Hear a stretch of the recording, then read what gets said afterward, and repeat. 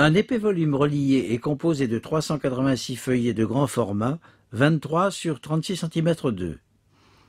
La plupart des pages sont calligraphiées en caractères arabes sur quatre colonnes encadrées. 34 d'entre elles sont illustrées de peintures à la gouache au ton vif. D'autres pages sont ornées d'enluminures. Le volume a été acquis au XIXe siècle à Téhéran, capitale du royaume de Perse, aujourd'hui l'Iran. En 1877, il est entré au département des manuscrits orientaux de la Bibliothèque nationale de France. Le livre, intitulé Ramsay, ce qui signifie cinq, rassemble les cinq trésors, cinq romans en vers du grand poète persan du XIIe siècle, Nézami. Une peinture du manuscrit le met en scène devant son protecteur, sans doute influencé par les courants mystiques persans, Nézami a laissé des milliers de vers au style raffiné. Le second poème du recueil, Khosrow et Shirin, raconte les aventures amoureuses du prince Khosrow, qui deviendra roi de Perse, et de la princesse Shirin, sa future épouse, fille chrétienne de la reine d'Arménie. Seuls neuf épisodes de ce long roman sont illustrés par des miniatures.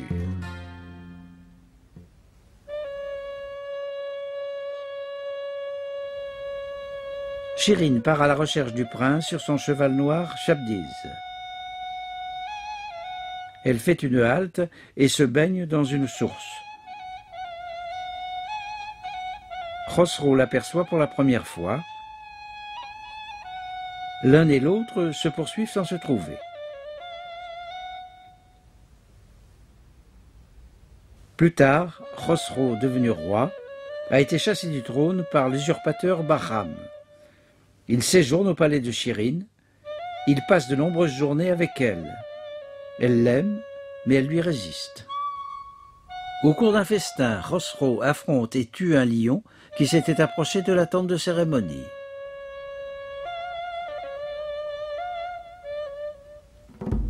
Shirin s'est réfugiée à Byzance. Elle se refuse toujours à Khosrow qu'elle somme de chasser l'usurpateur. Khosrow épouse Mariam, la fille de l'empereur de Byzance, puis il fait la guerre à Bahram, le vainc et le tue.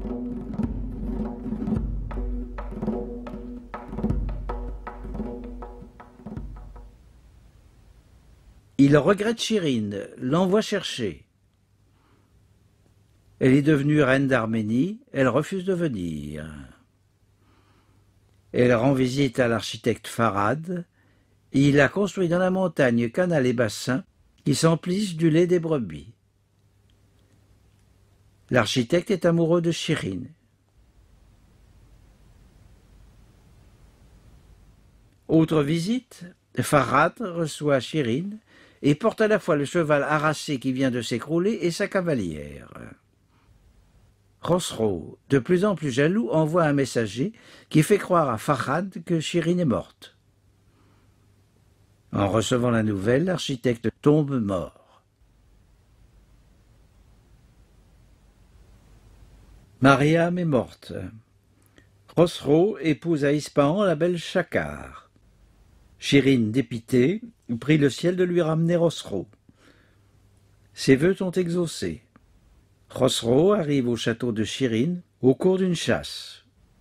Dialogue amoureux, mais Chirine résiste encore.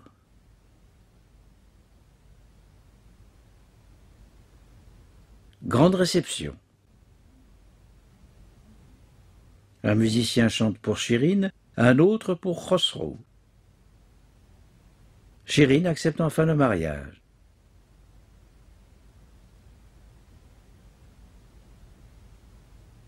Les noces sont célébrées. Khosrow et Chirine s'unissent dans leur palais. Le peintre préfère les montrer dans un jardin paradisiaque au centre duquel coule une source.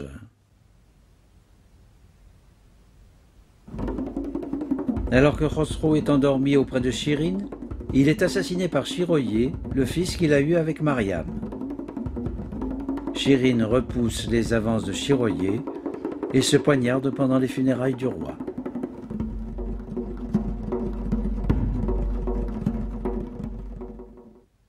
Les amis s'inspirent d'un personnage réel qui a vécu plus de six siècles avant lui, Khosroès Parviz, le victorieux. Roi de la Perse sassanide entre 591 et 628, il est donc contemporain de Mahomet. Il avait été d'abord l'allié de Byzance, puis son ennemi. L'empereur byzantin Héraclius finit par le vaincre à Ninive. C'est l'épisode que montre Piero della Francesca dans une de ses fresques d'Arezzo. Vingt-trois ans après la mort de Khosroès, les Arabes envahissent la Perse, la dynastie sassanide disparaît et l'islam remplace le culte de Zoroastre. L'islam s'était imposé en Arabie à partir de 622, en s'opposant au culte des idoles et en prônant un monothéisme strict. Dieu est sans forme et sans limite, représenter Dieu serait un acte d'idolâtrie. Représenter un être vivant, homme ou animal, ne serait-ce pas se prétendre l'égal de Dieu Les figures humaines ont été peu à peu bannies des édifices religieux et des espaces publics. Mais elles subsistèrent dans les espaces privés et surtout dans les livres enluminés. Jusqu'au XIXe siècle, la Perse tarde à adopter l'imprimerie. Le manuscrit est la seule forme de circulation de l'écrit. L'atelier bibliothèque du chat rassemblait ou fabriquait des copies du Coran, des chroniques, des recueils d'images, ou encore des traités savants. C'est par l'intermédiaire des traductions arabes que s'étaient transmis les livres des philosophes, des médecins, des géomètres ou des architectes de la Grèce antique. Dans la bibliothèque figuraient aussi les grands classiques de la littérature persane qui pouvaient exister en de multiples versions. La réputation du livre persan, son commerce et son exportation avaient entraîné l'éclosion de nombreux autres ateliers qui pouvait réunir calligraphes, relieurs, peintres, mais aussi papetiers, teinturiers, doreurs, préparateurs de couleurs. À partir du huitième siècle, le papier à base de fibres végétales, invention chinoise, s'était répandu dans tout le monde islamique. Le papier du manuscrit est un verger, peut-être importé d'Inde, et plié en cahier de seize pages. Le maître d'œuvre décidait du mastar, une feuille de carton ou de bois sur laquelle étaient tendus des fils de soie. On le plaçait sous la feuille de papier et l'on frottait pour qu'une trace légère des fils s'imprime en relief sur la page. Le mastar déterminait la réglure, espacement des lignes, des colonnes, marge, enluminure et même illustration. Textes et images étaient parfois disposés sur des papiers décorés au pochoir, teintés ou marbrés, ou encore semés d'or. Le manuscrit est préparé à l'aide d'un semis d'or très fin. Étape suivante, le djadval, une succession de filets de couleurs, de traits noirs qui formaient les encadrements des textes ou des images. À quelques menus défauts, bavures, raccords.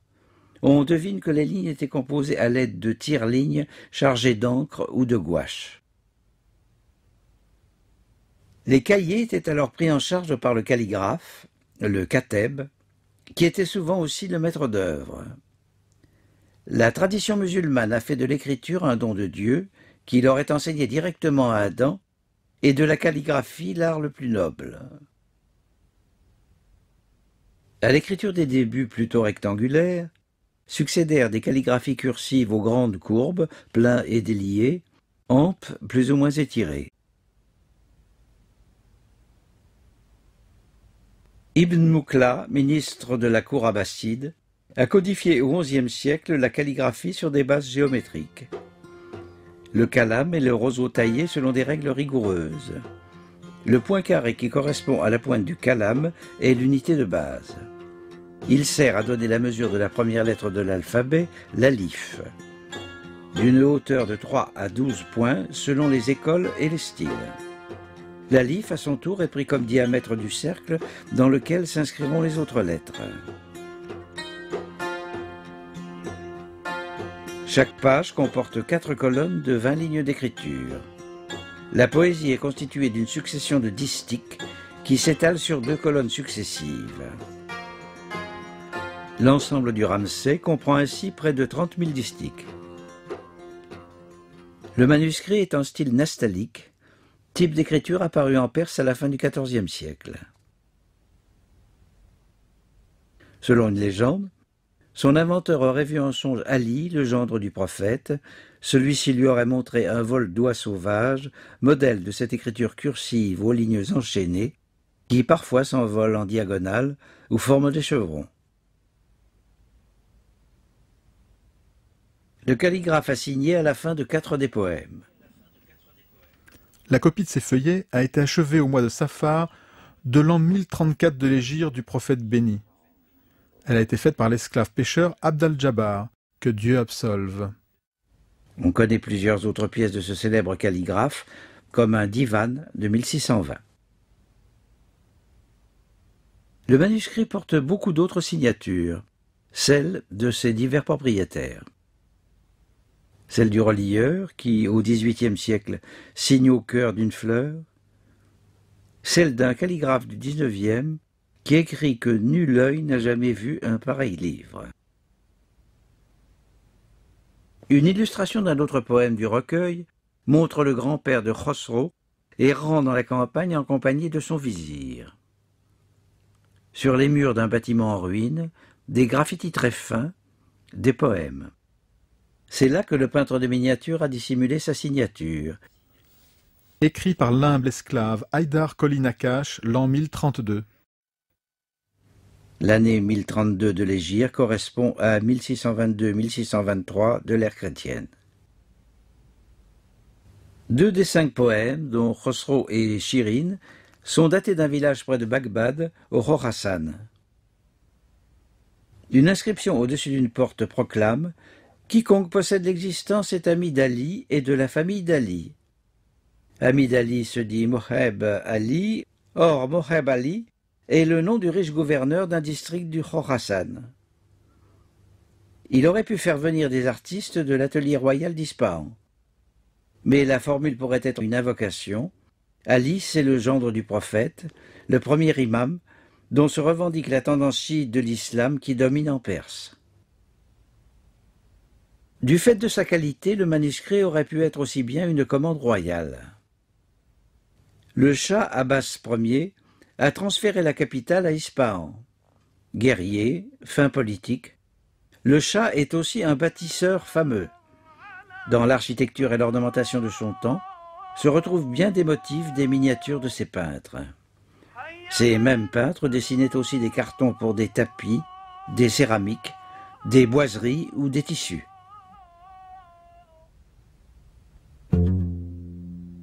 Les images du manuscrit sont hautes d'environ 22 cm.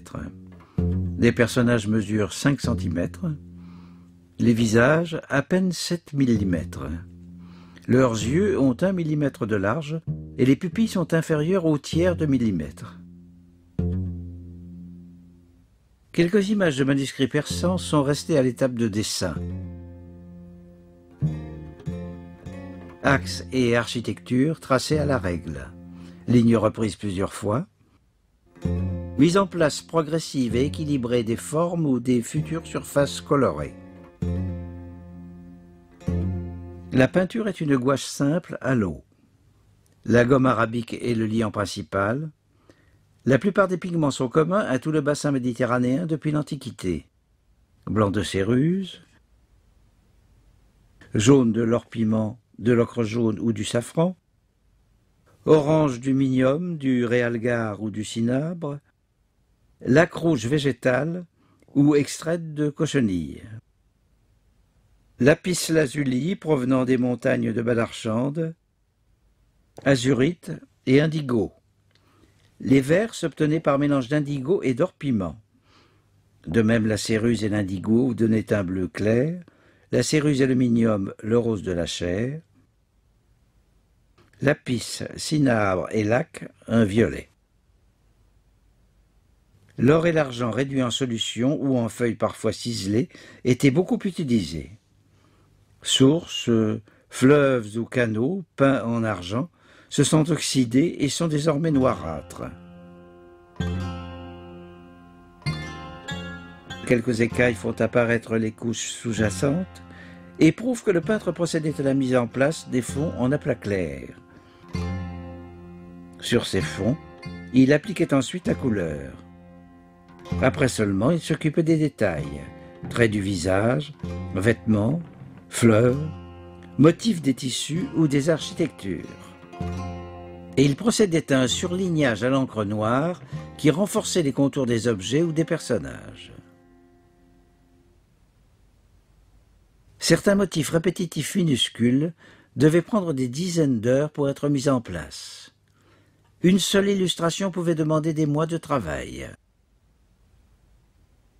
Les artistes aimaient faire preuve de virtuosité avec des pinceaux très fins, d'où l'abondance des chevelures, ou de longues moustaches figurées poil à poil, de coiffures à aigrettes, de tissus ou de tapis à motifs délicats. Plusieurs images nous montrent la position des miniaturistes et des calligraphes au travail. La peinture achevée et séchée était finement polie jusqu'à devenir lisse et brillante comme de l'émail. Le plus souvent, la couleur est arbitraire. Le peintre cherche surtout à jouer d'une grande diversité de teintes, mais absolument pas à représenter les nuances d'un monde réel. Ainsi, dans la scène de la source, le ciel est peint en or, et au-dessous se succèdent une vingtaine de couleurs.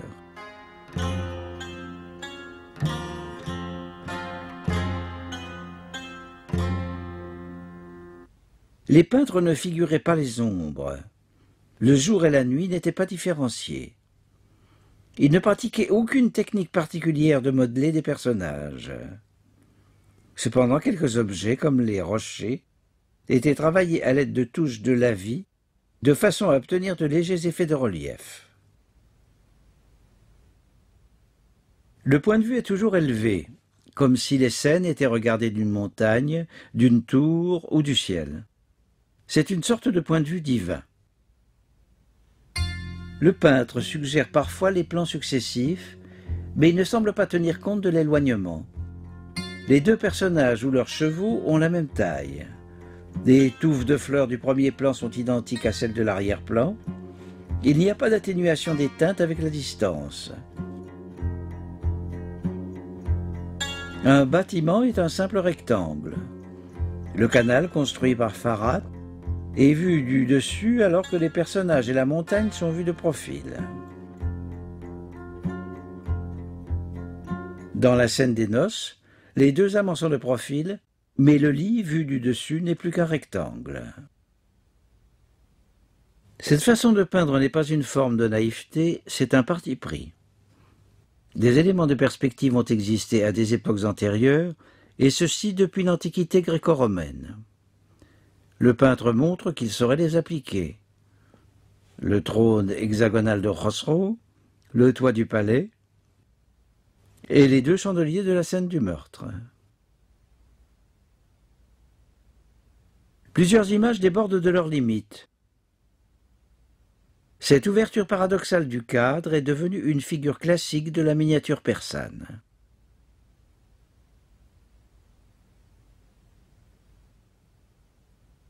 Autre figure appréciée, l'image dans l'image. Des fresques sont peintes sur les murs des palais représentés, et certaines évoquent d'autres épisodes du roman. Si les scènes guerrières rappellent peut-être les grands bas-reliefs rupestres de Takebostan, qui racontent chasse et batailles de Khosrow et d'autres rois sassanides, le peintre les transpose dans son siècle. Les chevaux ont des étriers.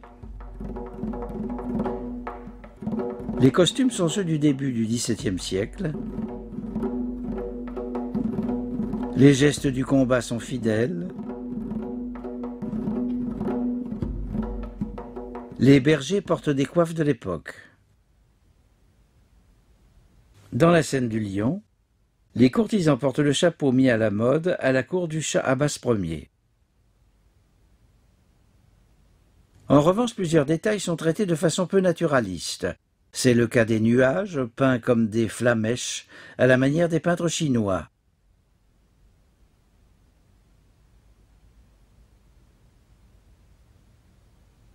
Ou des arbres, parfois stylisés à l'extrême. Enfin, comme dans les images byzantines médiévales, les personnages ne sont pas du tout différenciés. On identifie à peine Khosrow au milieu de ses courtisans. Ou Shirin parmi ses suivantes. Cependant, le peintre a le souci, entre la première et la dernière image, de faire vieillir le roi. En Perse, comme dans les autres pays islamisés, les interdits ne furent jamais absolus. Pour contourner les hadiths, les principes religieux découlant des propos du prophète, les peintres ont peu à peu inventé un monde imaginaire. Les couleurs pures et arbitraires, l'absence d'ombre, de modelé, de perspective, les architectures réduites à des formes géométriques rappellent sans cesse l'invraisemblance de ce monde peint. Si la représentation n'est pas réaliste, comment pourrait-elle contrevenir aux interdits? Le cadre ouvert lui-même est une sorte d'interrogation. Les personnages et les formes du monde représentés pourraient-ils passer dans le monde réel? Pourraient-ils sortir du livre comme le font les bons ou les mauvais génies des contes? Ces marges sont donc bien la preuve qu'il y a deux mondes, le réel et celui de la représentation. Certains interdits cependant s'imposeront avec vigueur, surtout en Perse. À partir du XVIe siècle, la figure du prophète est voilée. Dans le manuscrit, trois fois est montré le Mehaj de Mahomet, son ascension nocturne au ciel, précédée par l'ange Gabriel. Des voiles cachent les deux visages.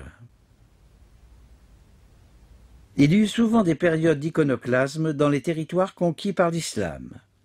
Visages martelés sur des statues, têtes décapitées d'un trait de plume sur des miniatures. Le manuscrit a été préservé de ces atteintes. Seul un accès de pruderie, à une époque indéfinissable, a touché la scène des noces. Les parties nues des corps des deux amants ont été brouillées, peut être lavé du bout d'un doigt enduit de salive. Le chiisme fait coexister un sens littéral du Coran avec un sens caché, ou même plusieurs strates de sens cachés. De même, les poètes persans ont aimé jouer avec les significations secrètes. À chaque époque, on a recherché des allégories dans les poèmes. L'amant en quête de l'amante, la rencontre sans cesse différée, pourraient être des métaphores de l'âme recherchant la fusion mystique avec Dieu. Il est difficile de retrouver ce double sens dans les images. Même si le réalisme en est banni, les scènes racontent toujours des histoires d'êtres humains bien vivants. Ce rapport particulier aux images a eu d'autres conséquences encore. Le manuscrit s'ouvre sur une double page enluminée et chacun des romans commence par un frontispice orné. Les motifs principaux sont végétaux. Les métaphores de fertilité végétale abondent dans le Coran, texte écrit au cœur d'un peuple vivant en bordure de déserts stériles. Tiges, vrilles, fleurs, feuilles, fleurons seront parmi les figures les plus fréquentes des arts islamiques. Ces formes ramifiées se déploient selon des courbes et des contre-courbes, formant des accolades, des alvéoles ou des compartiments. Et ce compartimentage se répète à son tour par symétrie parallèle ou inversée, jusqu'à composer de grands ensembles en tapis aux effets optiques étonnants.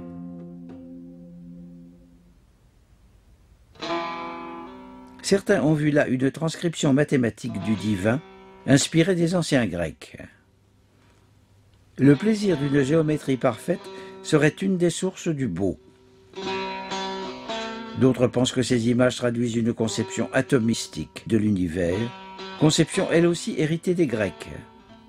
Dans une nature sans cesse identique à elle-même, la volonté divine imagine à chaque instant les atomes de la création et les recompose. Ces figures aux couleurs vives qui saturent toutes les surfaces et traduisent une sorte d'horreur du vide sont partout présentes. Architecture recouverte de céramique à motifs répétés ou inversés, courbe des arches ou des coupoles disparaissant sous le bourgeonnement des moucarnas, tapis aux motifs emboîtés et sans cesse renouvelés.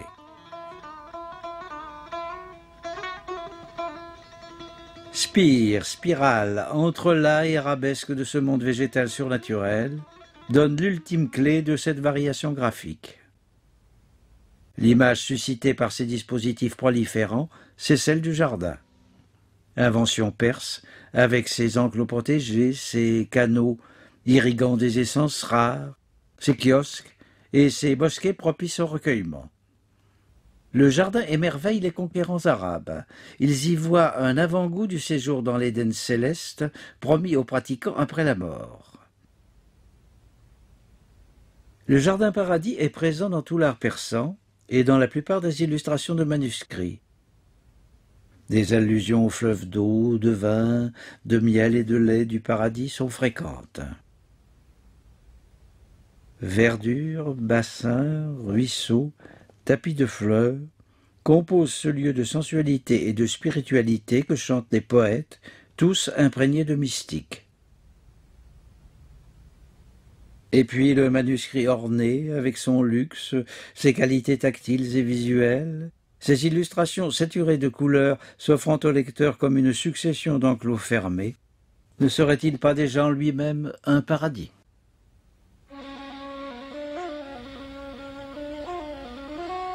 Quand elle parle, ses mille troubles charmants, cent mille doux baisers, ses lèvres les méritent, des lèvres de rubis, dents pures comme perles. Devant sa face aussi charmante que la lune, la raison s'égare, et ses noirs cheveux bouclés mettent en désarroi le cœur autant que l'âme.